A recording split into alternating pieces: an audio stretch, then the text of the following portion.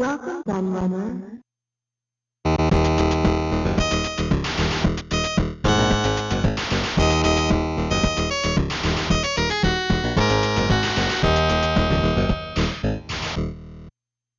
Texas Instruments TI-99 4A computer always seems to get a lot of attention when I cover it on the channel.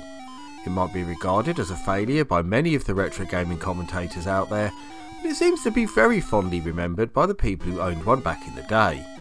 This is very much backed up by its credible 8th place finish in my viewer voted 20 greatest home computers of all time video that I did quite recently.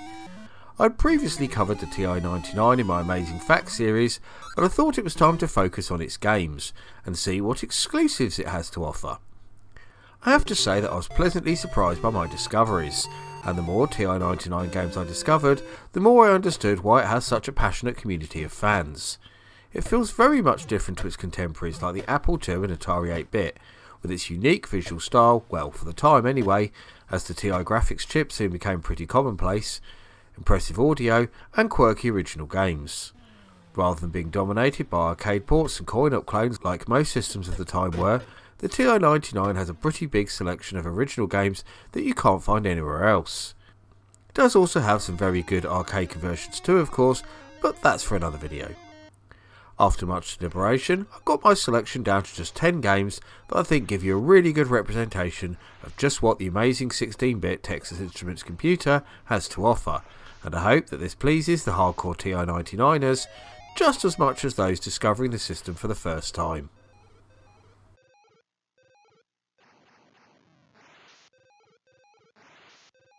This is my Texas Instruments home computer. Great for learning. The only thing wrong is I never get to use it.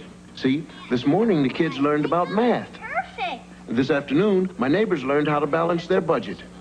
Then these guys came by to learn how to fight aliens. Now I'm going to learn chess. Observe the master. With the home computer from Texas Instruments, you're not just playing, you're learning. Checkmate. Well, I guess you can learn from losing. Created by John C. Plaster, Tombstone City is an incredibly original title for the TI-99 that may seem a bit complicated as I explain it, but the moment you start playing it, it will soon become second nature. In the game, you control a ship called a schooner, and your job is to try and keep your town safe from some mysterious creatures called the Morgs, and increase its population. You can shoot the Morgs as they appear on your lands, but when you do they leave a cactus behind, which gets in your way. Not only that though, if you end up with two cacti next to each other they will start to spawn more Morgs. The only way you can remove these pesky plants is by shooting a Morg as it passes right next to them. But this is very tricky and requires expert timing. The Morgs won't enter the centre of the town, a grid of blocks in the middle, so you're safe there if you need some respite. Aside from eliminating the Morgs, you'll also need to get rid of the tumbleweed too if you want your town's population to grow. The ultimate goal is to leave only individual cacti standing so no more Morgs can spawn. When all cacti stand alone, the day ends. The player is awarded a bonus schooner and a new day begins with all the cacti repositioned. This has to be one of the best TI-99 games I've played.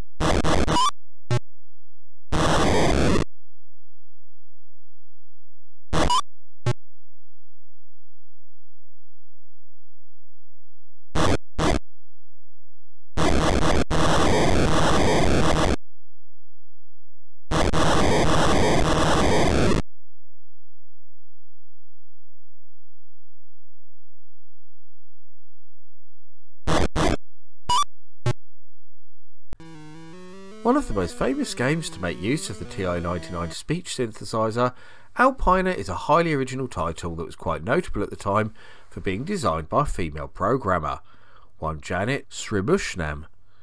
In the game you are tasked with climbing to the top of six perilous mountains, taking in Mount Hood, the Matterhorn, Mount Kenya, Mount McKinley, Mount Garmo and Mount Everest. There are two types of hazards that make your job harder. The first of these are the natural occurrences like trees and rocks that get in your way, and avalanches, which have to be avoided at all costs. Then there are the residents of these mountains, which include snakes and bears that will attack you if you get too close. If you are hit by an avalanche or attacked by an animal, you will get knocked back down the mountain, sometimes to the very start. However, if you time it right, you can grab onto a ledge to halt your descent. If you do fall all the way, you lose a life.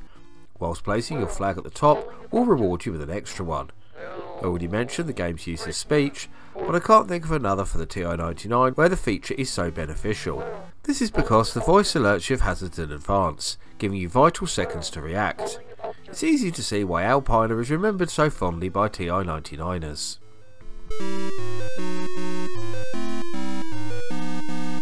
Beware, falling objects.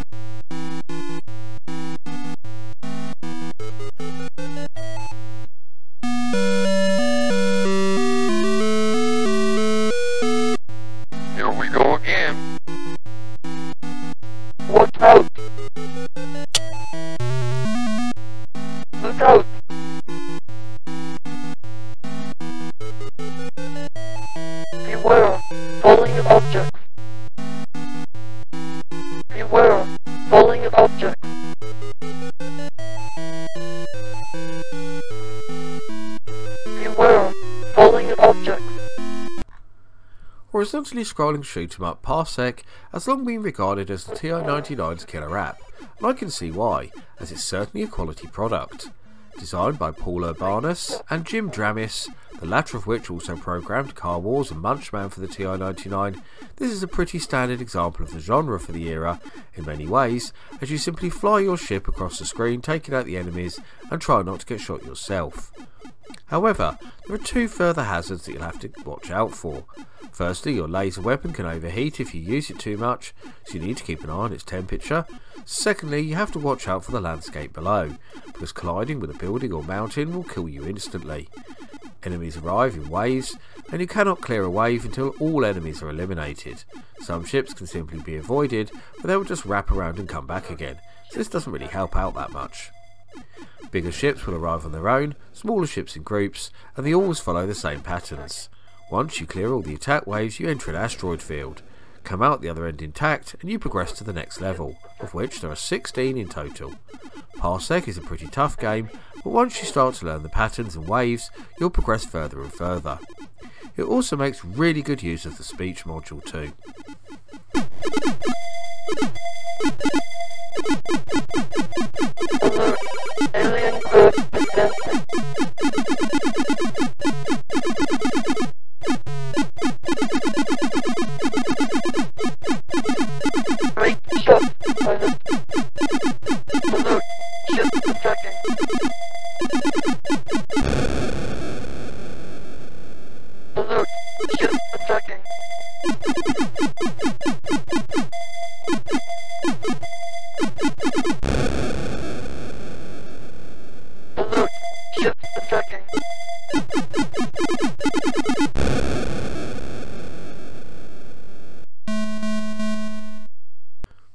One thing I've very much learned since I started on my voyage of discovery with the TI-99 is that it has a lot of really weird and wonderful games.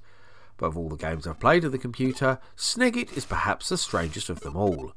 In the game you control a hen trying to protect her eggs from a hungry snake. The game is played on a fixed screen with eggs, nests and various plants and trees dotted around it at random. The snake roams freely around the screen, only stopping when he bumps into a tree or plant. If he comes into contact with an egg, he'll eat it immediately, whether it be in a nest or out in the wild. You have to grab each egg, put it into a nest, and then protect it until it hatches into a chick, will run off the screen. Now you're probably wondering how you fend off the snake. Well, it can only attack you and kill you from the back. If it hits you from the front, it's turned away by your sharp beak. So this is how you can protect the eggs and nests, by standing to either the left or right of them. All the eggs are coloured and some colours are worth more than others. You have to be very careful carrying and dropping the eggs as it's very easy to break them. Once you hatch enough chicks, you move into the next level for more of the same, only harder. It takes a little while to get the hang of Sneggit, but once you do you'll find a really enjoyable little game.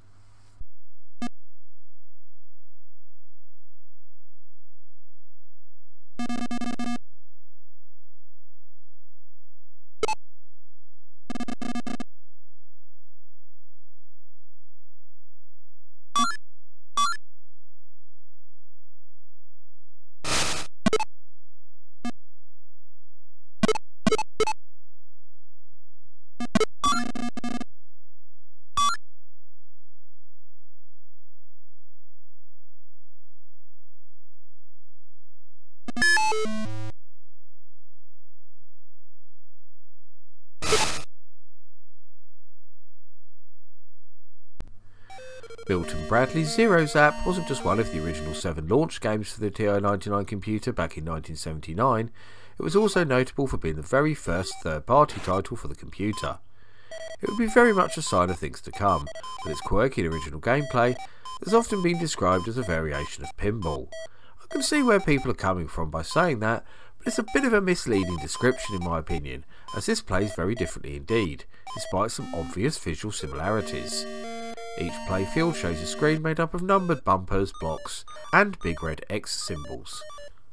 At the bottom you have an up arrow that you use to launch the ball by moving it into position and pressing fire. The idea is to keep the ball in the playfield as long as possible, so where you send it from the start is absolutely crucial. If the ball hits a number, you're rewarded that score, and it turns into an X. If it hits an X, it bounces off, and that in turn turns into a number. Whilst hitting a block, moves it to a new position and deflects the ball. You lose a ball in two ways, either by it falling off the playfield at the bottom, or if it hits a zero, the only number that doesn't award you score, killing you instantly instead. The levels can be randomised, redesigned or skipped, which gives the game a lot more replay value. Zero Zap is a really fun little game for the TI-99 4A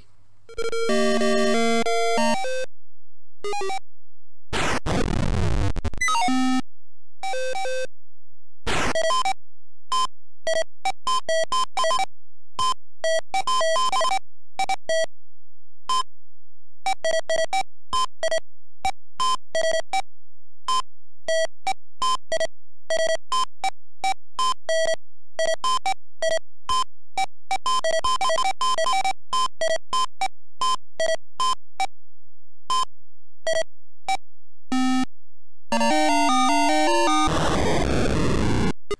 Bet you thought it was just Atari that had an ET game, right? Well, the main reason I've included this one here is not because it's an amazing game, but more the story behind the game, and the fact that most people don't even know it exists. The story goes that Texas Instruments had paid Spielberg and his studio $3 million to make a series of games based on the friendly alien. And, as he had with Atari before them, part of this agreement was a clause that he had to personally approve each game.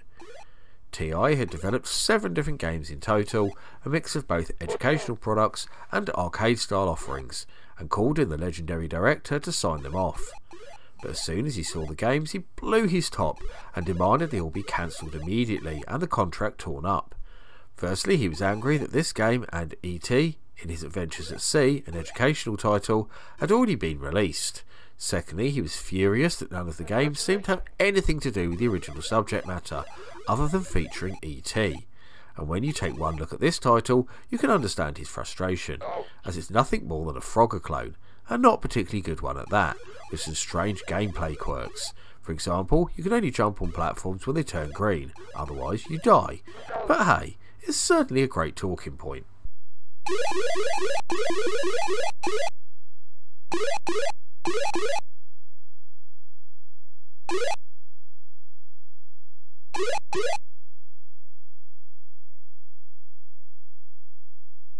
Congratulations.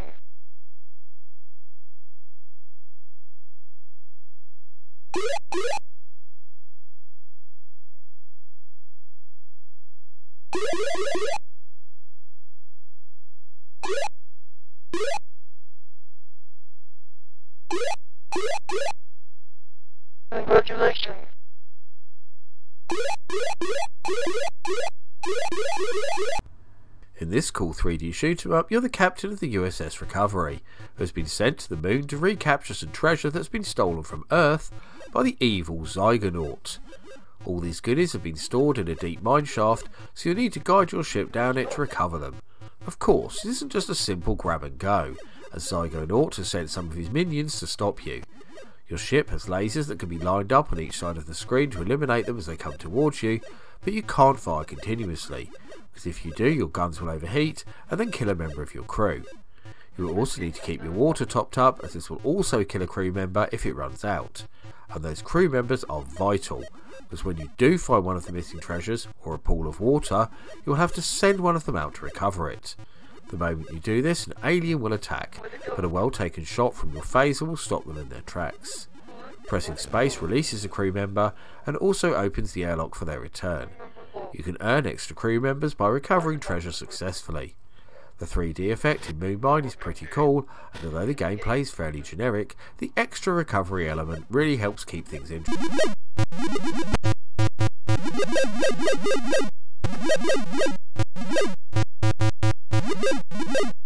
Mount to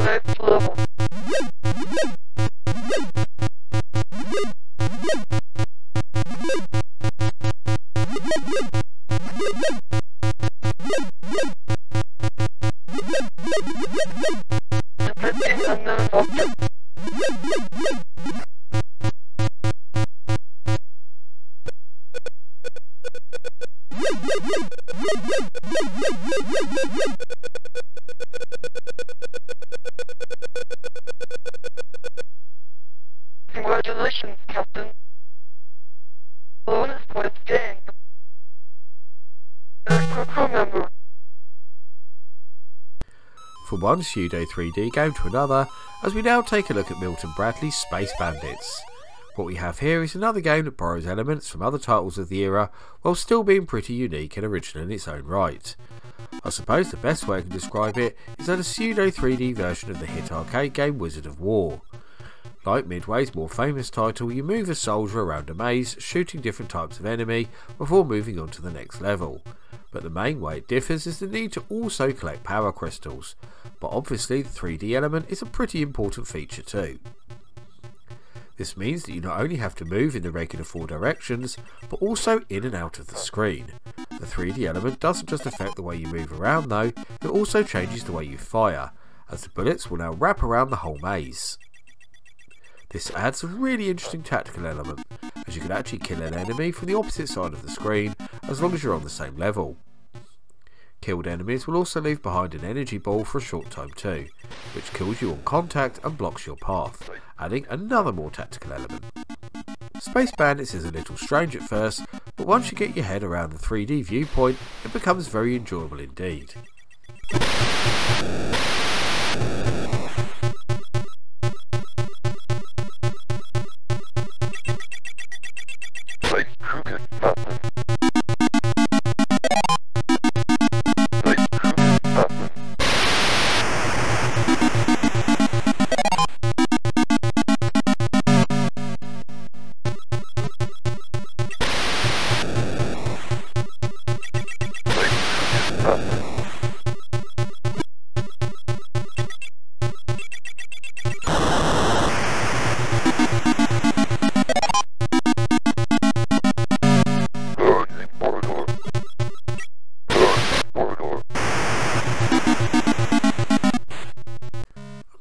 Very interested to discover that The Attack was originally a game based on the classic sci-fi movie Alien, but after they're unable to secure the license, they renamed it and adapted it slightly for the new plot.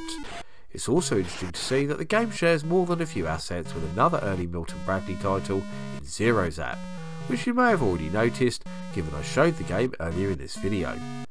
Once you start playing, the original license attached to it actually makes a lot of sense, as you're trapped on a ship and must eliminate the alien spores before they merge together to form aliens. The spores spawn from numbered incubators around the screen and can't actually harm you, so eliminating them is fairly easy, but the sheer number of them is what causes the problem, because unless you zip around the screen really quickly, much more dangerous aliens will appear. Once all the incubators are empty, which you can track by the ever decreasing number on them, the level ends with your score docs for any remaining spores. As the levels increase, you will also start to see the aliens themselves spawn from these incubators, so you need to shoot them as quickly as possible. The attack certainly doesn't look like much, but the gameplay is strangely compelling.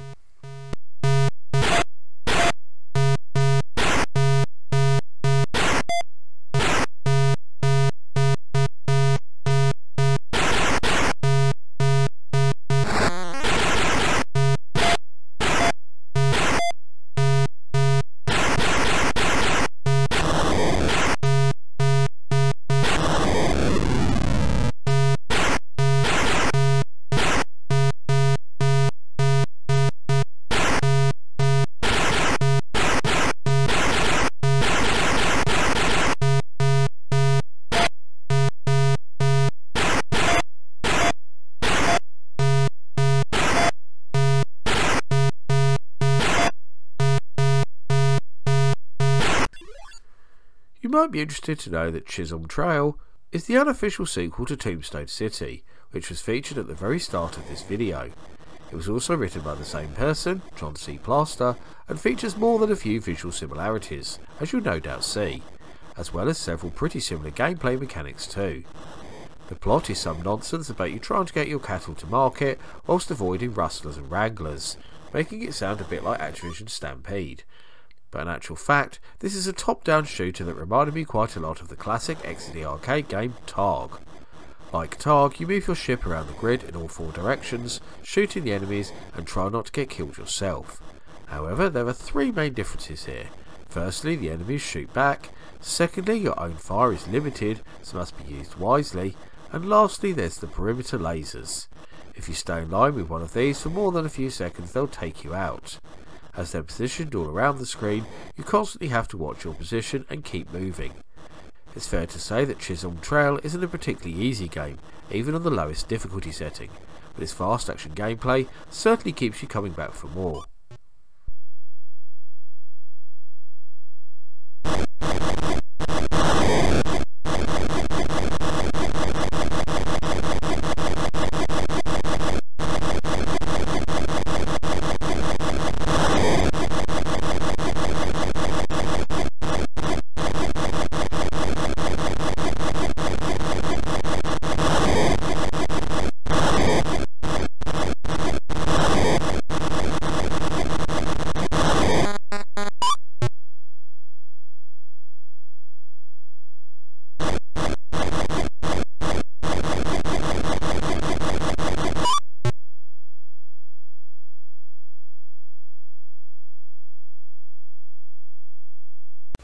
Only three, and already he's reaching out, seeking, and looking to you to point the way. Now is when a Texas Instruments home computer can give him a real head start. With more educational cartridges than any other computer, they challenge, encourage, make learning fun. The home computer from Texas Instruments. Don't put it off. And that rounds up my look at 10 amazing Texas Instruments TI-99 4A exclusives. Can you think of any other one-off titles that only ever came out for the quirky 16-bit computer? Or do you think some of these games were unworthy of inclusion? I always love to hear the thoughts and views of my audience, so please get typing in that comments section. Before I go though, I must thank all of my loyal patrons who continue to support my channel and make videos like this possible. However, I must give special thanks to the following patrons and YouTube backers in particular for their much appreciated pledges. Grady Haynes, Mitchell Valentino, Seth A. Robinson, Carl Olson, Dos Gamerman, Sonic Mania 999, Paul Daniel, Andrew McKay, Retro Resolution, Matt Standish, James Taylor, Trogdor the Burninator, 8-Bit Guy, and Electron Star Collapse. If you also want to help support all my creative endeavours, including this YouTube channel, then please go and check out my Patreon right now. You can get access to extra content, including downloads, exclusive videos, creative insights, and much more besides. I've been the Laird, I thank you for watching, and I'll see you all again for another video very soon.